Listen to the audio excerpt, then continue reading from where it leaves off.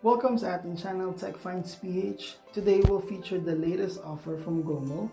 Ito ay yung Gomo SIM na may 40 gig na data, no expiration, and for only 359 pesos.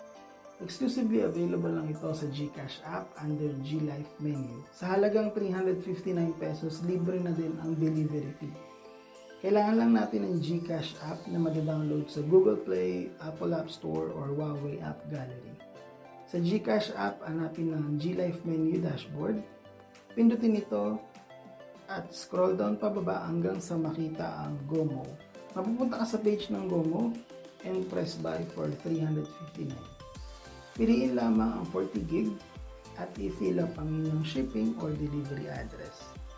Ang estimated delivery time nito sa Metro Manila ay 3 to 5 days, sa Luzon 5 to 7 days, Visayas or Mindanao 8 to 12 days. Tandaan walang delivery ng holidays or Sundays.